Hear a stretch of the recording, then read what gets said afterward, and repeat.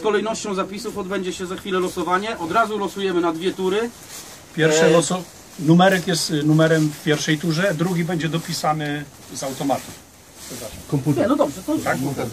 Komputer dopisze. Pierwsza tura jest od 13.30 do 17.30. Następnie przychodzimy tutaj e, na ciepły posiłek i druga tura jest od godziny 19 do 23.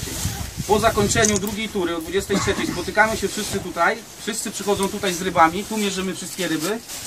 E, ryby powinny być wpisane w kartę e, startową, łącznie tam z, em, e, z podpisem kolegi, który, który to akceptuje jako sędzia. E, także tu o 23 się spotykamy, mierzymy wszystkie ryby i później... E, Do 23 mówimy. do 23 mówimy, tak. No po 23 się tu spotykamy, mierzymy i wszyscy się później udajemy do Pomorzanki na kolację, na oficjalne zakończenie, wręczenie pucharów, podliczenie. Panowie, jeszcze jedna, jedna wa- ważna rzecz.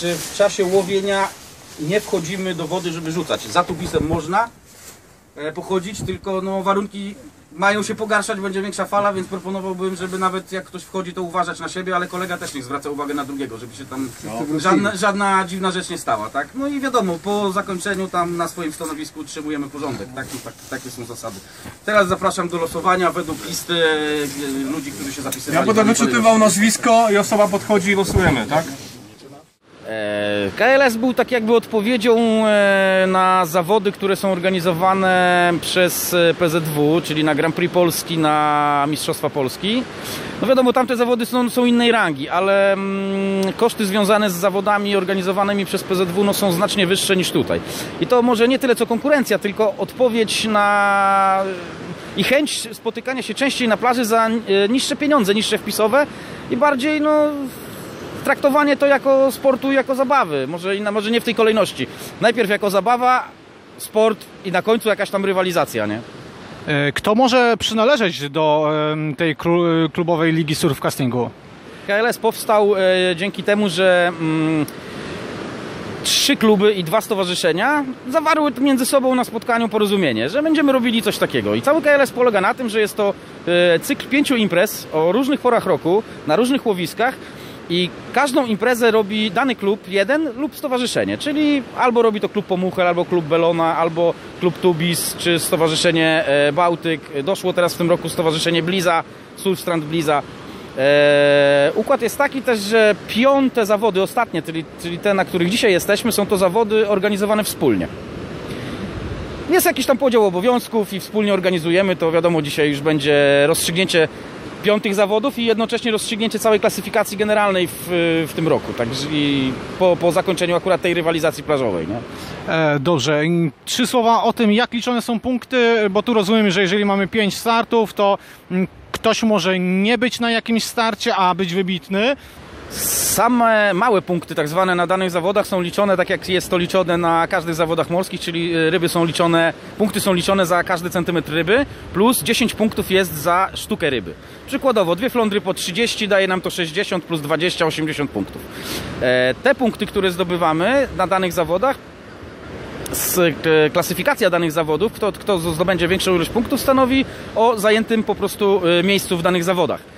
Z tym, że em, dodatkowo, jeżeli zawodnik w ciągu na dzisiejszych zawodach zdobędzie 80 punktów, które wynikną z, ze złowionych ryb, dodatkowo dostaje 10 punktów za start. Bo mogą być tacy zawodnicy, którzy po prostu e, wystartowali, ale nie udało im się nic złowić i oni dostają również 10 punktów. Natomiast ta osoba, która nie jest na danych zawodach, no ma 0 punktów.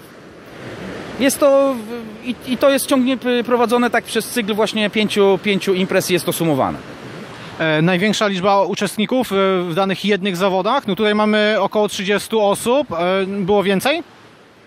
No w tym roku zdecydowanie więcej, dlatego że w zeszłym roku liga była tylko dla mm, osób zrzeszonych, czyli należących albo do stowarzyszenia, albo do klubów. Do klubów wędkarskich, morskich przede wszystkim. Po mm, ubiegłorocznej edycji stwierdziliśmy, że trzeba by było otworzyć to, czyli mm, e, umożliwić starty ludziom, którzy nie są, nie, są, nie są zrzeszeni gdzieś tam w klubach, bo nie każdy po prostu chce gdzieś tam przynależeć, ale no, ich pasją również jest wędkarstwo, a mają możliwość no, zmierzyć się też z wędkarzami, którzy nie tylko startują tu w KLS-ie, ale również na innych zawodach, bo ja nie startuję tylko w KLS-ie, tak jak większość moich kolegów, ale i w Grand Prix Polski, i w Mistrzostwach Polski i za granicą czasami bywamy też na różnych zawodach. I tutaj e, liga została w tym roku tak jakby otwarta Jeśli chodzi o e, ilość uczestników, e, bywało więcej. No wiadomo, początek sezonu. Każdy po zimie spragniony rywalizacji i spotkania się z kolegami. Na pierwszych zawodach bodajże chyba 46 zawodników było. Także frekwencja w tym roku, jeśli chodzi o statystyki, to gdzieś około, każde zawody są około 20% e, z większą ilością zawodników. Dobrze, a takie pytanie, które mnie nurtuje, to są takie typowo, mm, ta, ta, ta, ta, ta, liga nasza, ona jest typowo taką ligą tutaj mm, na naszego tego rejonu, powiedzmy Dębki, mm, Elbląg, tak? Czy, czy to też Świnoujście wchodzi w grę? Jak to wygląda? Czy to tylko to pomoże środkowe? No raczej tutaj właśnie Pomorze Wschodnie, bo no my z Pasłęka, więc e, łowimy tam w Krynicy Morskiej, w Piaskach, to jest 2,5 km, tam jest czasami w jednym miejscu do e, granicy z Rosją, e, więc tam bardziej wschód, no i tutaj ta część północna wybrzeża. E, przyjeżdżają do nas koledzy z, ze Słupska, z Koszalina, z Kołobrzegu, ale no Świnoujście, Szczecin, tamte rejony jednak nie. No dzielą nas kilometry, nie oszukujmy się, że ja sam osobiście tutaj, żeby przyjechać to 180 kilometrów, ale są koledzy z Bydgoszczy, przybywają też ludzie z Warszawy, e, z Bielsko-Białej, z, e, my sami mamy kolegę, który jest z Tarnowa nawet, u nas w klubie, tak? Także tu to nie ma tutaj, jedynym ograniczeniem no to jest tylko no, ludzkie chęci, tak? I, i trochę portfel. I trochę portfel. E, dobrze, e, pytanie wtedy in, inaczej trochę zadam to pytanie. Czy, ty, e, czy w tym pod granicą niemiecką, nazwijmy to tak, czy też są takie, takie ligi, czy tam się też ludzie zrzeszają, czy tam też to wędkarstwo jest no tak na topie, jak tutaj u nas?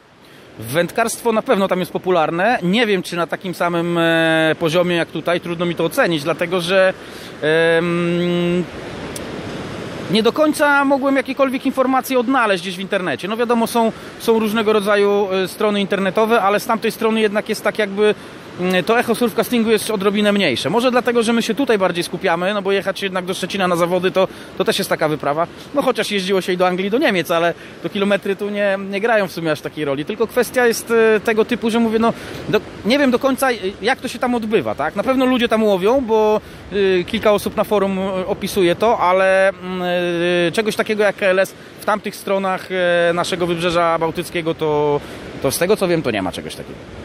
Trzecie miejsce w piątych zawodach klubowej ligi surfcastingu wywalczył Marek Wierczewski 55 punktów.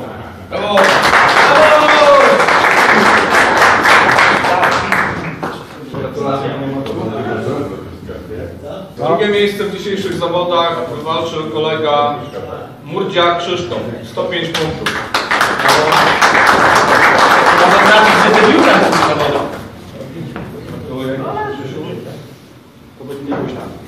I zwycięzca dzisiejszych zawodów y, z sumą 112 punktów kolega Mariusz Bizewski. Nie może być. To były dwa ostatnie gorsze na kartki. Więcej już nie ma. Ja nie wiem, czy ten licznik się tam podskoczy. Gratuluję. Największą rybą zawodów okazał się dorsz 45,4 cm kolegi Marka Wierczewskiego.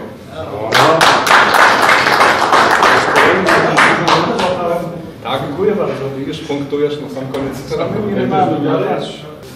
No i tak, szanowni koledzy, zakończył się nasz tegoroczny KLS. Wymieniam teraz zwycięzców, jak zwykle, jak co roku właściwie, sześć pierwszych osób, które y, w całym cyklu pięciu zawodów zdobyły największą ilość punktów. Miejsce szóste zajął kolega Michał Abramczuk. Łączną kwotą 322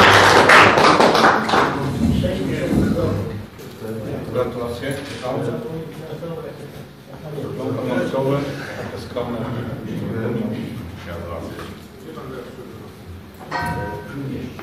Miejsce piąte.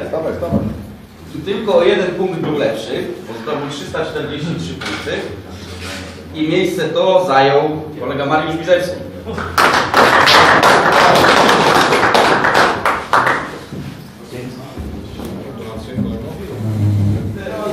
Miejsce czwarte z ilością 358 punktów zajął kolega Leszek Sobota. Dziękuję. Trzecie miejsce w drugiej edycji TLS-u w 2014 roku zdobył Wiesław Dawicki z ilością punktów 367.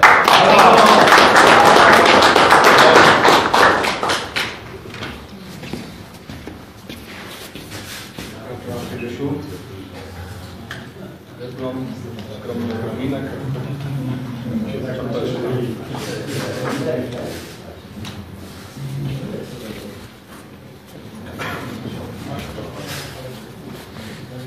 Zacne miejsce drugie z ilością punktów 379 zajął kolega Jacek Frączek.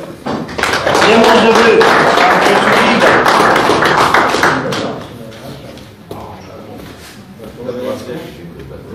Proszę dyplom się na telewizor.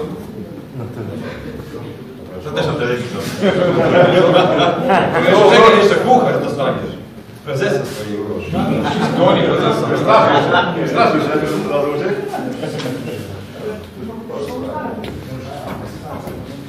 Liczne miejsce pierwsze, a za Brawo, brawo, skocujemy!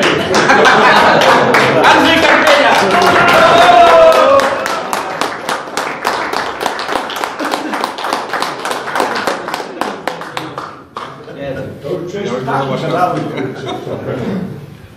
Mewy we Władku. Na porcie. Ale chciałem powiedzieć, że zwycięzca bardzo ładnie się zachowywał w pierwszej turze prawie nie łowy. Dał, dał szansę innym. Drugi też nie, drugi się nie. No. Teraz wszyscy do baru. Teraz już wiemy kto stawia, nie?